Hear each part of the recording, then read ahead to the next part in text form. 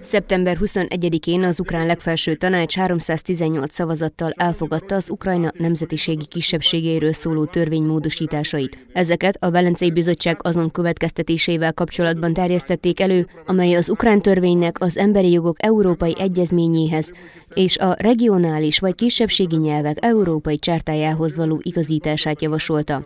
A törvénymódosítás szövege arról értekezik, hogy a nemzeti kisebbségek jogait korlátozhatják, amennyiben ezt megköveteli a nemzetbiztonsági érdek, valamint más személyek jogainak és szabadságának védelme.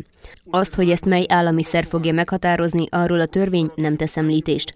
Továbbá a módosítások értelmében a miniszteri kabinet gyakorlatilag saját belátása szerint határozhatja meg a terület esetében, hogy azt hagyományosan többségében nemzeti kisebbségek lakják-e, és hogy ezeken a helyeken lehetővé teszik-e az úgynevezett nyelvi engedményeket.